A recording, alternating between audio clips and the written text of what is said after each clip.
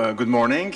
Uh, I'm uh, Gérard Roland uh, from the University of California, Berkeley, and uh, I'm also the editor of the Journal of Comparative Economics, so I'm very honored to, to open this conference. I don't have to explain to you what the Journal of Comparative Economics is. I think you, you all know about it.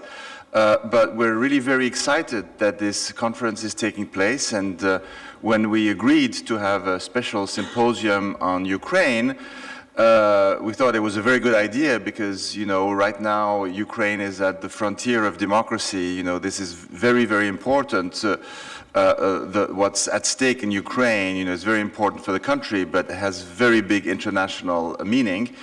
And so we were very glad of doing it, but you know, we're an academic uh, journal, so we publish uh, academic research, and very often there is a big lag uh, between uh, policy making and, and uh, uh, you know, academic research.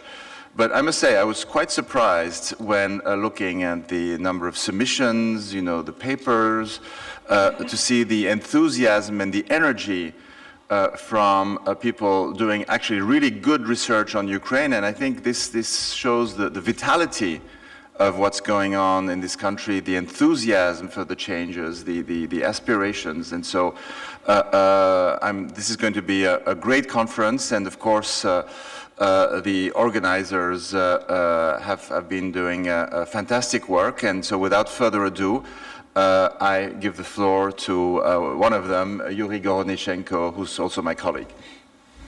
Well, my job is going to be very easy. I'm, I'm going to thank everybody for coming. I'm going to thank uh, Gerard for allowing us to run this conference. I'm grateful to the Kiev School of Economics to, uh, for being our host, to our uh, sponsors, USAID, SIDE, ACES, Berkeley, Western NIS Fund.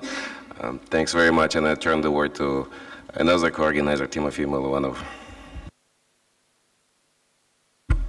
Thank you very much. Um, thank you very much for coming.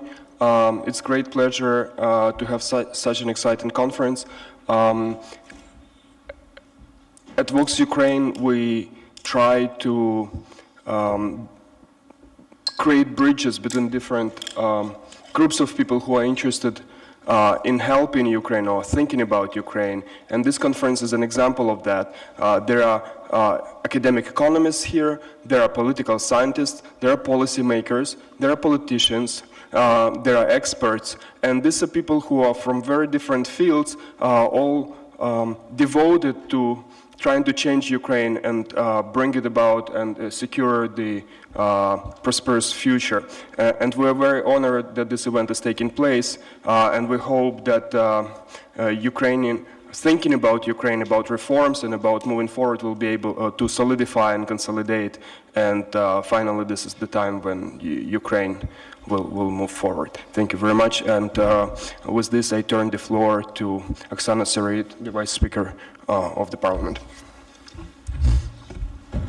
I think I'm looking at the at the room, and as I see that nobody is using earphone, that means that English would be more comfortable language to speak. So, if you don't mind, um, then I, I, think it will be more comfortable for everyone.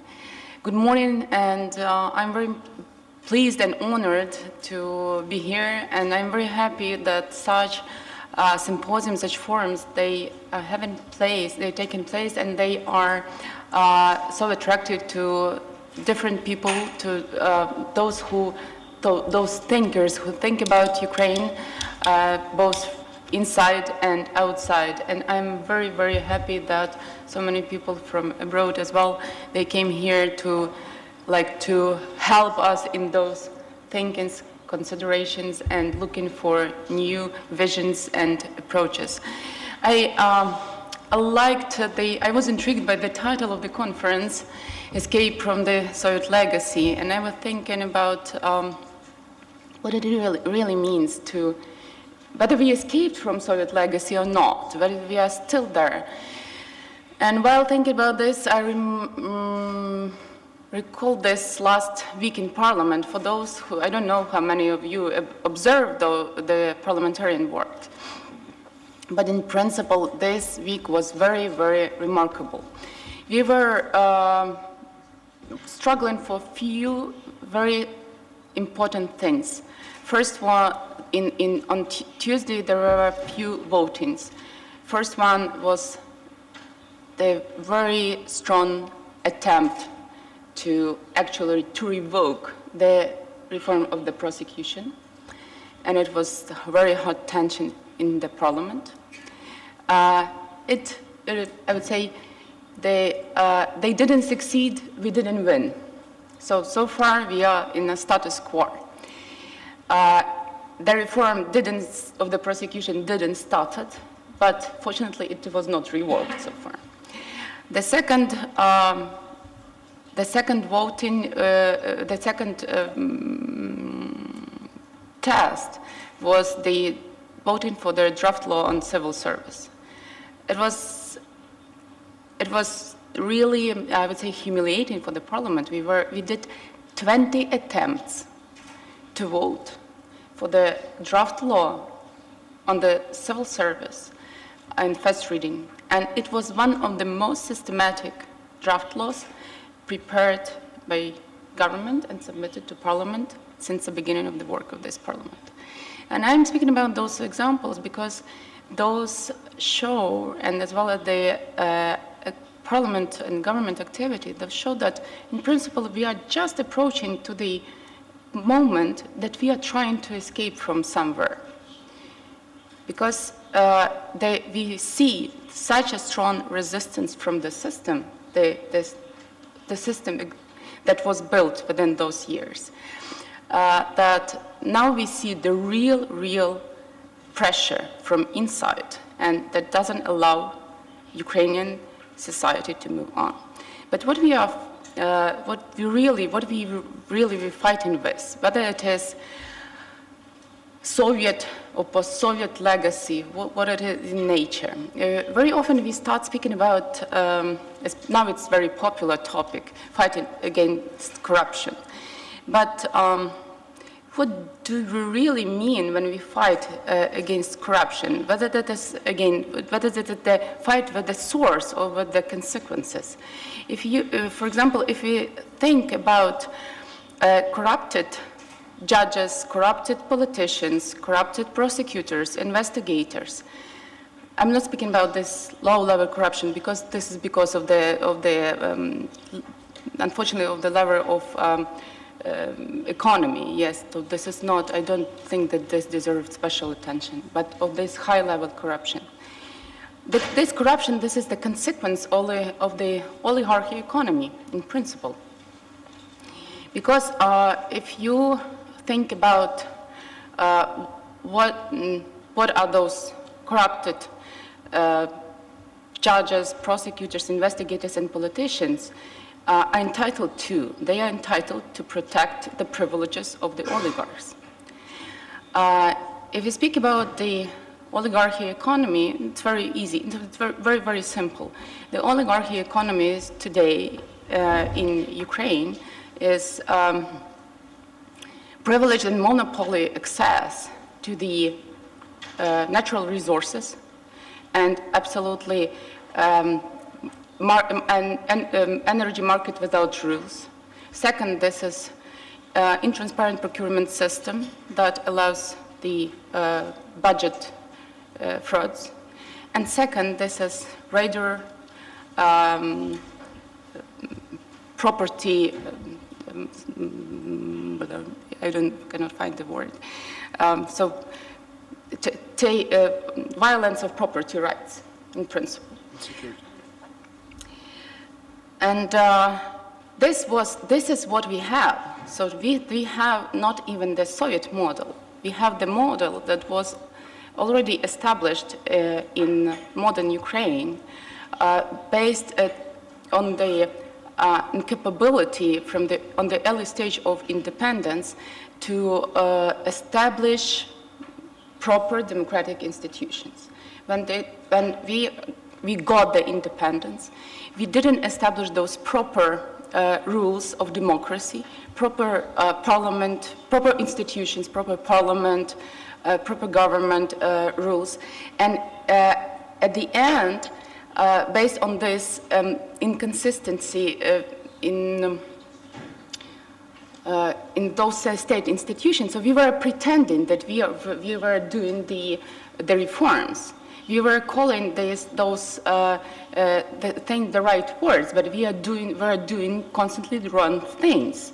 So we were calling our parliament parliament, but unfortunately it was not acting at the parliament. It was uh, blessing the decision that were taken uh, in, in other places. So it was not doing the parliamentary work. And those uh, make to believe play ended up that the, we enrooted this oligarchy economy that currently rules the country. And this is the escape, we can call it escape from the, um, from the Soviet uh, legacy, but in fact, this is escape from the uh, oligarchy, uh, and not legacy, but reality.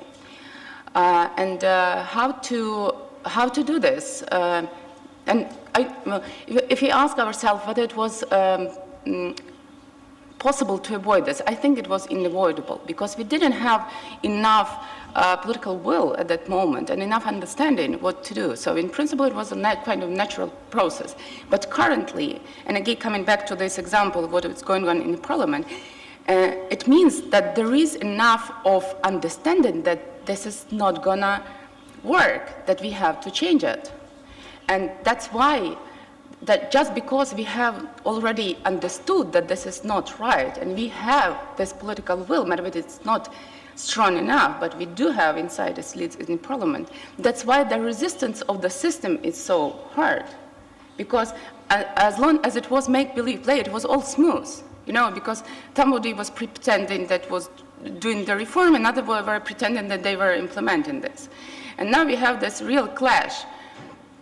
And we are approaching a big crisis of, uh, I think, a big crisis of parliament, and I'm not speaking about the coalition, not in sense of political, you know, dimension of and uh, political shape of the parliament, but the parliament the, and the institute in general, because the question will be um, whether we are ready really to uh, become the parliament as it should be and to take responsibilities for the decision that we are taking. And I believe that to provide for this escape from, the, uh, from this oligarchy uh, economy uh, and oligarchy reality, we have to establish proper institutions that, uh, that would move on in this direction.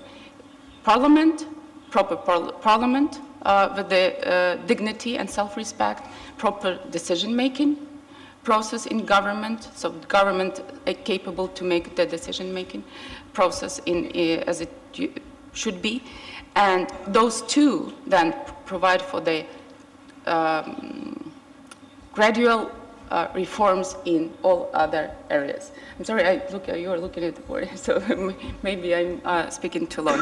Uh, I know, I, I'm, I'm speaking a bit long, unfortunately, I will not be able to stay with you and to participate in the discussion because of this tough schedule. And I just wanted to give you this insight from, uh, from what, what we are surviving right now. And um, I believe that you will, be, will have enough of very good uh, presentation and speeches and ability to discuss uh, different aspects and as well maybe this one that I presented to you. Thank you.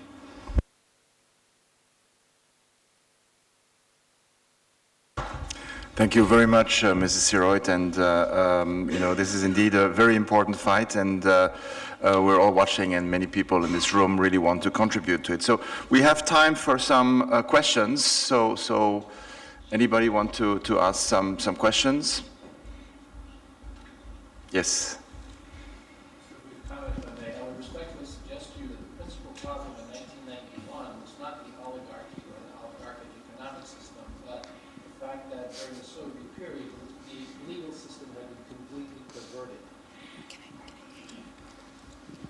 As you well know, Lenin and Trotsky and his, his friends uh, disbanded the Tsarist Russian legal system that had already begun to make certain reforms and incorporate certain reforms and uh, you know, basically turned it, turned it into a theater or whatever.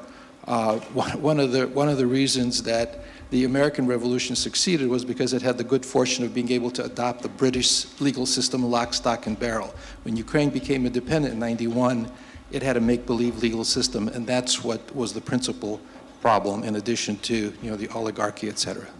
Maybe let's gather a few, a few questions and so, so you can answer to all at once. Who's next? Yes, well, go, go ahead. there is a question. Oh, there's a question, okay. Vadym Volosovych, Erasmus University. Uh, I, I was uh, listening to your presentation uh, and uh, I was curious to see what do you mean by exact. You kind of distance yourself against the system, right? So there is a system and there is us. So who are you us and who is the system? So you sort of said it's oligarchic system, but can you define what do you mean by that? Thank you. Any other question?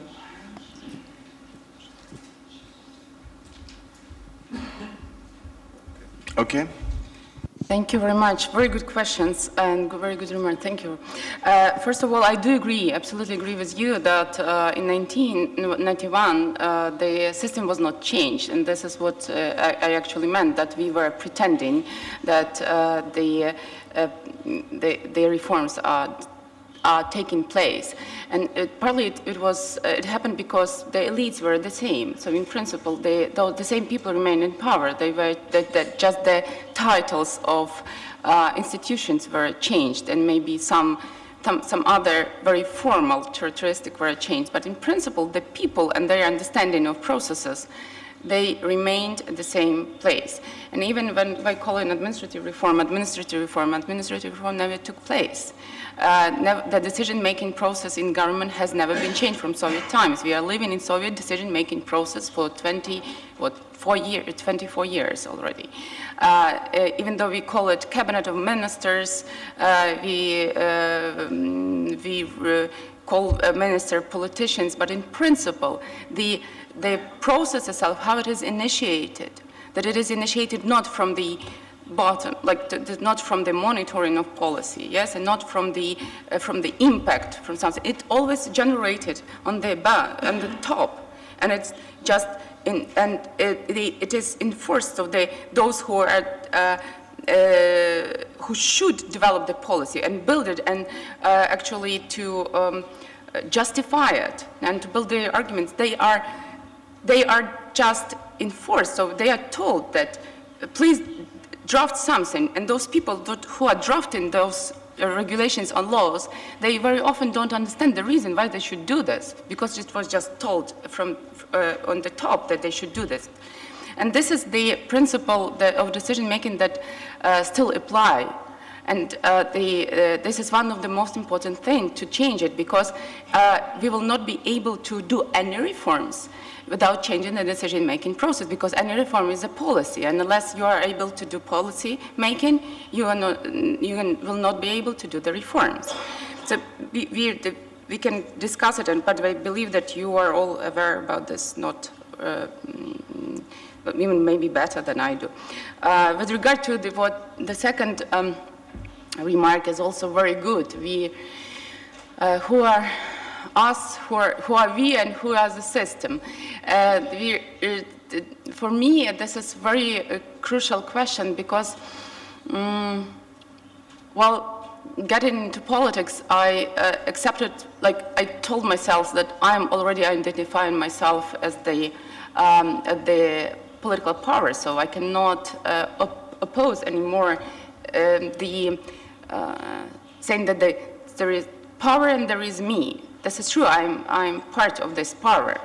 But when I'm speaking about the system, um, I mean that um,